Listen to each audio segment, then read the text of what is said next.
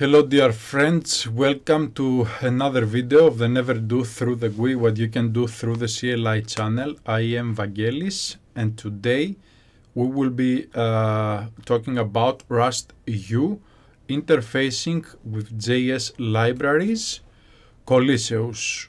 So we will talk uh, specifically about this library which is a library that is used for um, multiplayer uh, gaming.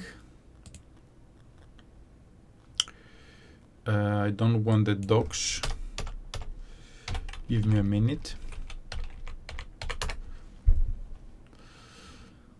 Uh, multiplayer framework made fast and simple. So I wanted to specifically check the integration with this library with uh, Rust Yew uh, to create a prototype because we may need this in a project. And as I said in the previous video, I would look into it. Uh, uh, and indeed, I have uh, uh, I have looked into it. I was a little bit busy with various things. This is why I did not create this video sooner. But today, we will get the chance to see this in action. So let's close this.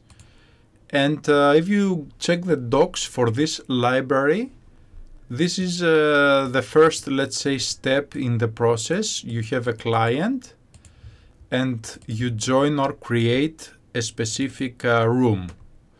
So we have this join or create method which accepts a room, a string, and uh, possibly some options, and it connects to the server.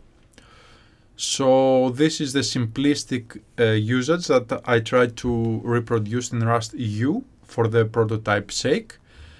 And first of all, of course, we have to create a server. So let me show you a little bit the setup. So I created this uh, Colyseus server. The client, this client here is a JavaScript client uh, so that I would uh, check the JavaScript functionality first to have it as a base, let's say. But uh, what we are interested in is the server. Here is the server. Uh, if you check the docs, this is how you can define a server. And the server stops, starts listening. So the first thing that we have to do is create a server and run the server. And this is what we are going to do.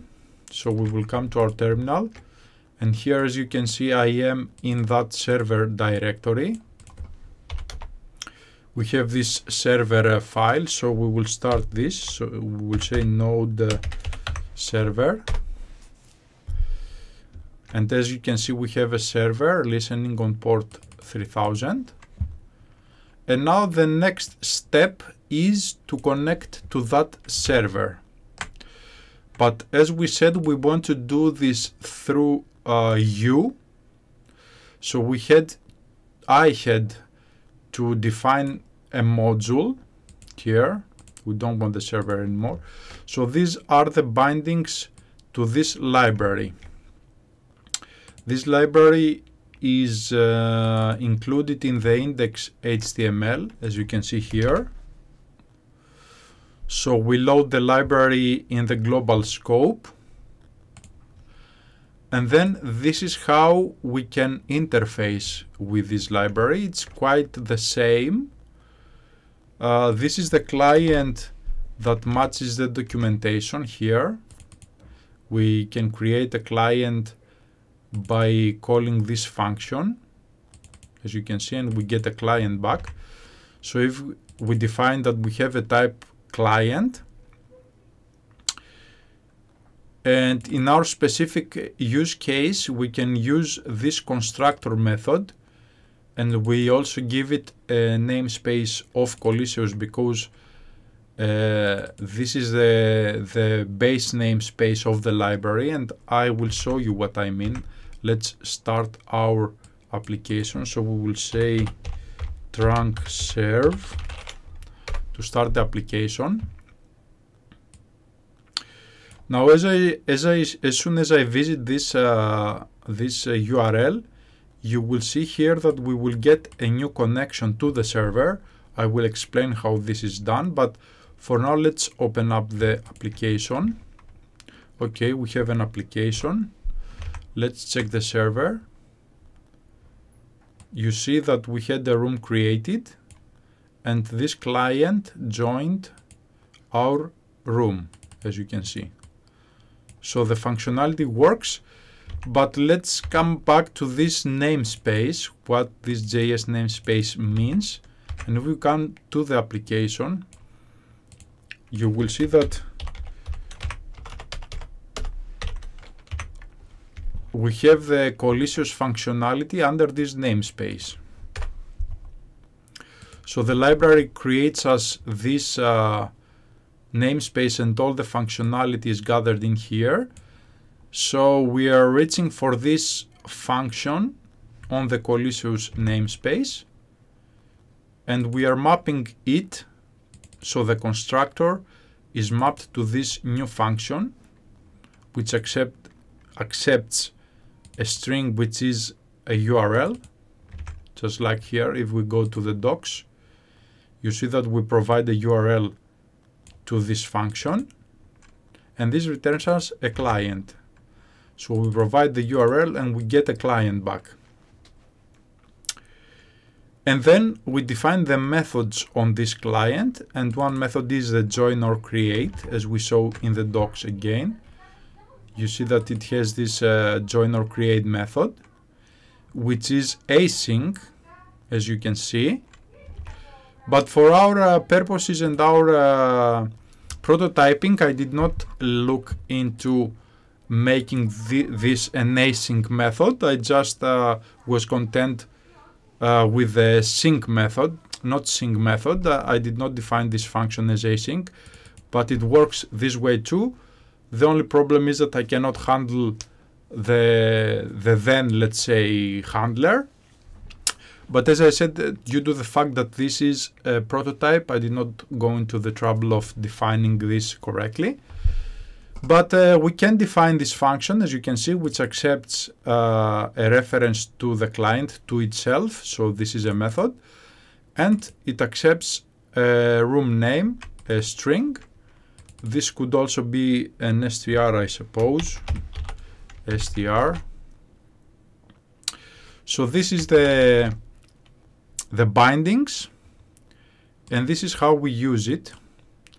We come here in our main uh, contents module, let's say, and this is how we use it. We can also make this an str, I suppose, so we don't have to do this, neither do we have to do this. We will try this. And this is how we use it uh, we call uh, the constructor so client new with the URL that the server is running and we show that the server is running on port 3000 as you can see and then we join or create this foo uh, room which is created in the server. So if we come back to the server, you see that I have defined this foo uh, room and we are using this room here. So we say join or create this foo room. And if we come to the client, to sorry, to the server here, we have console logs on create, we console log that the room was created. On join, we console log the client ID that joined. And we are getting all this output here at the server.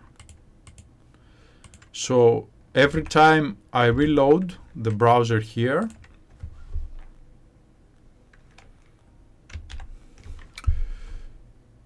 uh, sorry. Let's do it this way.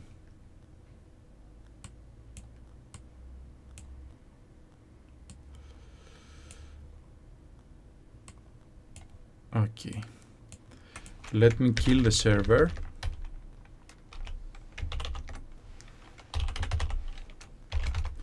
And we restart the server.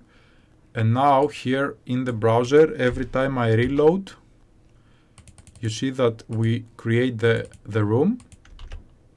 And then you see that we have, since we are calling uh, every time a new a new client, every time we get a new client that connects and a room that gets created.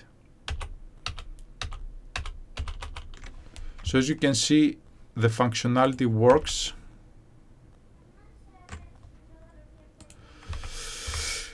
Oh, here.